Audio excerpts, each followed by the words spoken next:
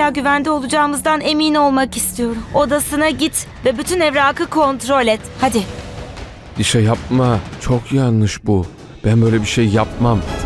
Utanmadan eski sevgilinin kollarına gittin. Senin gölgeni bile onun yakınında görmek istemiyorum. Hayır lütfen.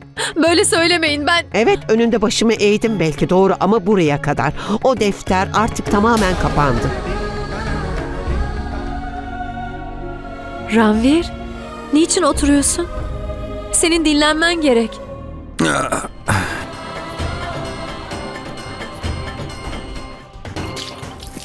Hain, yalancı. Kara Sevdam yeni bölümüyle bugün Kanal 7'de. Daha fazla video izlemek için kanalımıza abone olabilir, ilk izleyen olmak isterseniz bildirimleri açabilirsiniz.